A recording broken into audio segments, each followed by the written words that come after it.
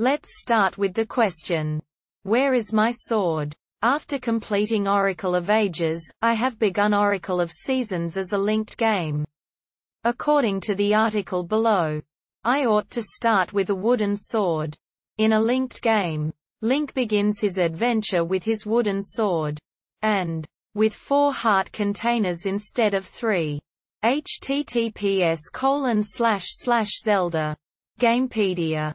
Com, linked underscore game hashtag beginning a linked game while the game did start with four heart containers. I'm now at the Maku Tree Gate with no sword. Maku Tree Gate, show courage to gain passage.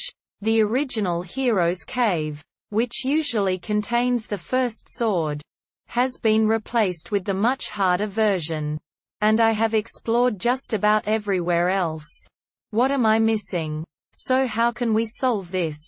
There's one possible answer. Answer 1. Okay. So, the sword was in my inventory the whole time.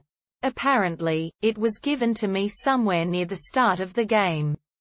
Maybe I missed the mention of the sword somewhere in the spew of dialogue. In any case, the sword was not actually equipped. Even though it is clearly the only thing that could possibly be equipped. Maybe this was my own simple oversight. But this seems uncharacteristic for this series at least in the previous games developed by Nintendo EAD. Capcom, what is up with this? After some reflection started a brand new linked game. There was no mention of a sword in any of the dialogue. In contrast, at other times when the sword is given or found, verbose instructions are given for how to assign it to a button and use it verified that the sword is auto-equipped in the following situations.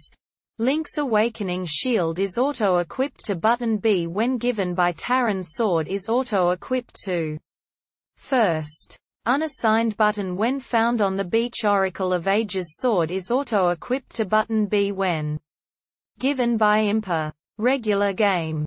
Shield is auto-equipped to button B when given by Impa. Linked game.